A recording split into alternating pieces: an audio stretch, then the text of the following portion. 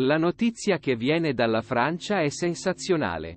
Più precisamente dalla squadra Neymar ha trovato un accordo con la Lilal.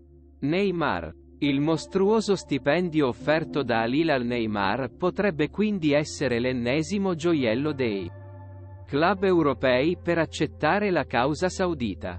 Lo stipendio offerto dall'Al Hilal è monstre con l'offerta che è circa 160 milioni di euro per un contratto due anni.